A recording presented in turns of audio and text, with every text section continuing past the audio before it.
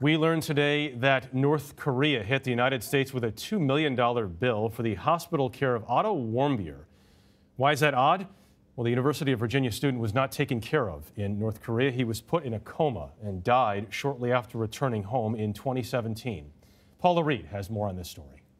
These are the last photos published of American college student Otto Warmbier in a coma and being carried off a plane in Cincinnati in June 2017, six days before he died. CBS News has learned North Korea demanded the U.S. pay $2 million for Warmbier's medical expenses before he could return home.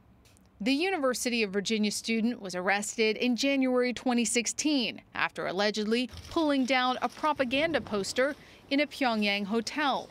He was later sentenced to 15 years in prison with hard labor. Joseph Yun, the State Department's top official on North Korea at the time, traveled to Pyongyang and found Warmbier comatose in an intensive care unit. He signed the $2 million bill, but the State Department says it never intended to pay and did not.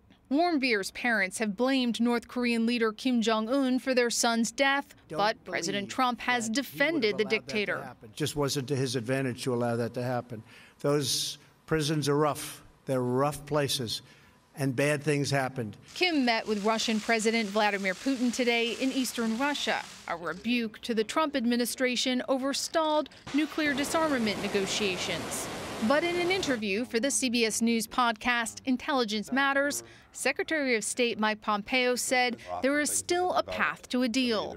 The president has made clear we're going to have enough patience to make sure that we're really having good faith negotiations and real conversations.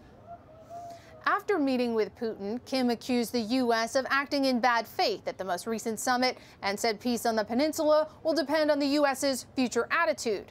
The White House had no comment. Jeff. Okay, Paula, thank you very much.